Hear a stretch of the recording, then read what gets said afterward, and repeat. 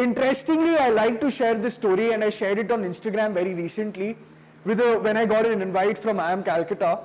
Exactly in this fest Intaglio, I had applied with my B plan about a year and a half back, which got rejected. But today I am here speaking in front of all of you.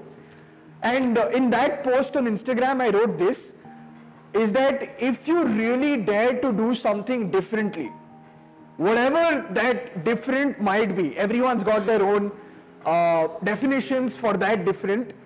If you dare to do something differently, then something will churn out for you. Not make it very technical, but I want to show you guys the opportunity with, with just social media in itself, right?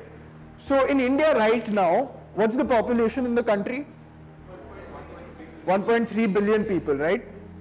The number of people using social media right now or the internet right now on their mobile phones, does anyone know what's the number? Any guesses? Let's take guesses. How many people in out of 1.3 billion use internet on their phones? All right, I'll, I'll give you the number. Currently, it is at 500 million. So around 50 crore people in our country right now using internet on their mobile phones and it's a staggering number. 50 crore log. By 2025, this will double.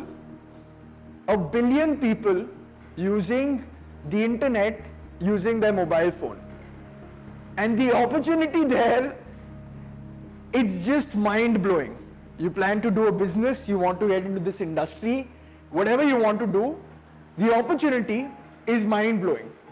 And I can only show you the opportunity in two ways. Like how you tap into this opportunity. The first way is what I have done, uh, primarily, uh, which is personal branding.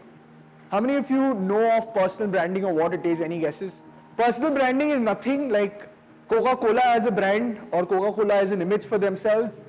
Uh, Pepsi as a brand or an image for themselves. Similarly, every single individual, my teacher in college used to say, is a brand. You're a brand. But this brand, पहले के ज़माने में, how did I will say from my community, how did Marwadi uncles build their personal brand? They used to go to conferences, they used to go to marriages, bolte bhai ji kya haal hai?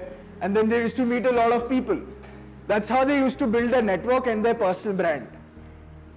Now, the game is absolutely different. It's changing. How many have more than 100 friends on Facebook? Almost everyone, right? Whatever you share with those 100 friends on Facebook, whatever that might be. You might not be active, that's okay. But whatever you share with them is adding to your personal image, to your personal brand. So if you share something of value to them, could be anything. It could also be anything that creates an emotion. Ki aaj, for example, aaj hi I'll take an example. I, I saw it on a friend's newsfeed.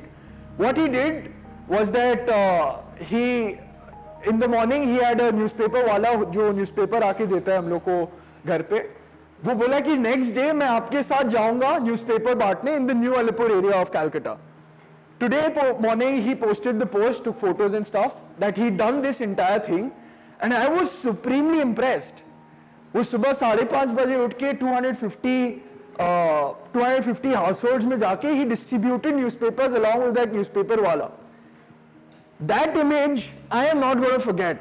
That example I am not going to forget for quite a while. Now you can share of anything of value with your friends. An opinion about whatever is happening. For example, it might be the 377 or XYZ that's happening. If you share an opinion, people read it.